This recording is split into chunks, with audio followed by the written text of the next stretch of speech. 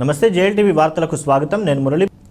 Gajuwaka zone పరిధిలోని Anganampudi real championship karate academy ఏర్పాటైంది. ఇక్కడ జరిగిన కార్యక్రమానికి ముఖ్య అతిథిగా విచ్చేసిన దువ్వాడ సీఐ లక్ష్మి జ్యోతి ప్రజ్వలన చేసి అకాడమీని ప్రారంభించారు. సందర్భంగా ఆమె మాట్లాడుతూ ప్రస్తుత పరిస్థితుల్లో పిల్లలు సెల్ ఫోన్లతో కాలం గడుపుతూ భవిష్యత్తును పాడు చేసుకుంటున్నారని అయితే కరాటే వంటి క్రీడల వల్ల మానసిక ప్రశాంతత చేకూరుతుందన్నారు. అందుచేత అందరూ క్రీడలపై ఆసక్తి పెంచుకోవాలన్నారు. అకాడమీ వ్యవస్థాపకులు సుమన్ కోచ్లు బాబీ మహేష్ తదితరులు పాల్గొన్నారు. కుమ్ముడు సెల్ఫ్ డిఫెన్స్ ఫిట్నెస్ ఈ ఫోర్ వేరియంట్స్లో ఇక్కడ ట్రైనింగ్ ఇవ్వడానికి ఒక రెసిడెన్షియల్ ఏరియాలో ఒక స్పోర్ట్స్లో సెల్ఫ్ డిఫెన్స్ సంబంధించి కరాటే కిక్ బాక్సింగ్ కుమ్ముడు ఫిట్నెస్ సంబంధించిన ట్రైనింగ్ ఇన్స్టిట్యూట్ ఇక్కడ శనివారం జంక్షన్లో పెట్టడం జరిగింది.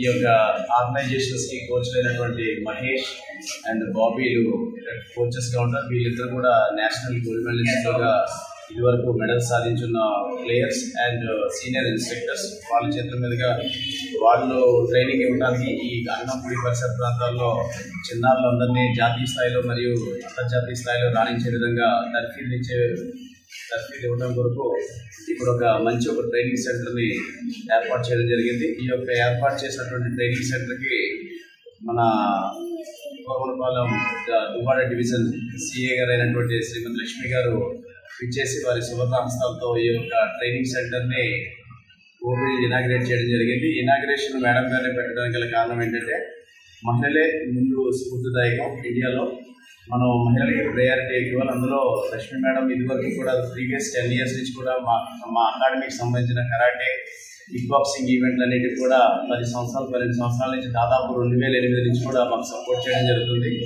అదే సెంటిమెంట్గా మేడం గారిని పిలిపించి ఈరోజు ఈ యొక్క కార్యక్రమం మేము ఇనాగ్రేషన్ మేడం గారి చేతుల మీదుగా చేయించడం. ప్రారంభించిన రియల్ ఛాంపియన్షిప్ అకాడమీని ఇది దినదిన ప్రవర్తన మనం అయ్యి చక్కగా సక్సెస్ అవ్వాలని కోరుకుంటున్నాను. మెయిన్ ఏంటంటే ఒక క్రీడ అనేది వస్తే వాళ్ళ ఫేస్లోనే కనబడుతుంది ఆ కాన్ఫిడెన్స్ అనేది. అలాంటిది ఇప్పుడు మన అక- మన అగరంపూడిలోనే శనివాడలోనే పెట్టారంటే నాకు చాలా హ్యాపీ అనిపించింది. ఎందుకంటే ఎక్కడికో వెళ్ళినటువంటి క్రీడలు దూరంగా ఉంటే నేర్చుకోవడం చాలా కష్టం. అదే ఇంటి పక్కనే ఉన్నారంటే ఇప్పుడు యాక్చువల్గా మేము విజువల్ పోలీసింగ్ తిరుగుతూ ఉంటాం. ఎక్కడ చూసినా పిల్లలందరూ సెల్ ఫోన్ పట్టుకొని అలా సెల్ ఫోన్ చూసుకోవడమే. అలాంటి ఇలాంటి ఉన్నందుకు ఫిజికల్గా ఫిట్నెస్ ఉంటుంది. వాళ్ళకి ఒక క్రీడ ఒక ఈ కాన్ఫిడెన్స్ అనేది ఉంటుంది. అది జాతీయ లెవెల్లో అవ్వచ్చు లేదంటే స్టేట్ లెవెల్లో అవ్వచ్చు. ఈ విధంగా అదే యాక్చువల్గా అమ్మాయిలకి అయితే నేను చెప్పేది సెల్ఫ్ కాన్ఫిడెన్స్ చాలా కరాటే నేర్చుకున్న అమ్మాయి నేర్చుకున్న అమ్మాయిని చూస్తే మనకు రియల్గా వాళ్ళ ఫేస్లోనే కనబడుతూ ఉంటుంది. అంత సెల్ఫ్ డిఫెన్స్ చక్కగా చెప్తున్నారు మెయిన్ ఏంటంటే ఎక్కువ ఈ కోచెస్కి చెప్పేది లేడీస్కి మంచిగా నేర్పించి అంటే ఎటువంటి మళ్ళీ కంప్లైంట్స్ మా దగ్గర రాకుండా. బట్ అంటే నేర్పించేటప్పుడు చిన్న చిన్న ఉంటుంది. బట్ ఏంటంటే అటువంటి వాడిని ఓవర్ ఓవర్కమ్ చేసుకోండి మీరు. ఆ విధంగా మంచి అభివృద్ధి చెందాలని కోరుకుంటున్నాను. అదే అదేవిధంగా సుమన్ నాకు ఇప్పుడు కాదు థర్టీన్ ఫోర్టీన్ ఇయర్స్ నుంచి తెలుసు. ఇటువంటి కంప్లైంట్స్ లేవు. బట్ మంచిగానే అంతా ఇది చేస్తున్నాడు. కాబట్టి మీ ఇన్స్టిట్యూట్ కూడా అదే విధంగా అభివృద్ధి చెందాలని కోరుకుంటున్నాను.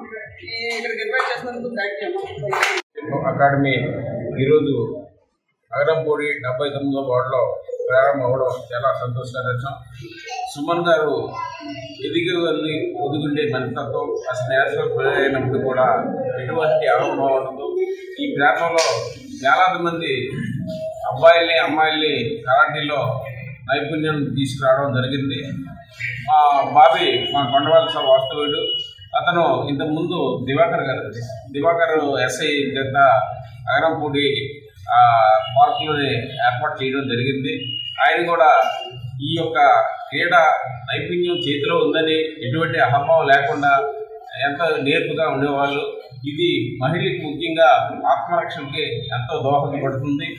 ఇది ఈ కార్యక్రమానికి మేడం గారు లక్ష్మి గారు ఎంత బిజీగా ఉన్నప్పటికీ వచ్చి ఈ స్టూడెంట్స్ని ఈ అకామిడీని ఆస్వాదించినందుకు ధన్యవాదాలు తెలిసి సెలవు తీసుకున్నాను నిరంతర రాజకీయ విశ్లేషణలు సమకాలీన వార్తా విశేషాలకు జేఎల్టీవీ న్యూస్ ఛానల్ను సబ్స్క్రైబ్ చేయండి. పక్కనే ఉన్న గంట సింబల్ను క్లిక్ చేయండి.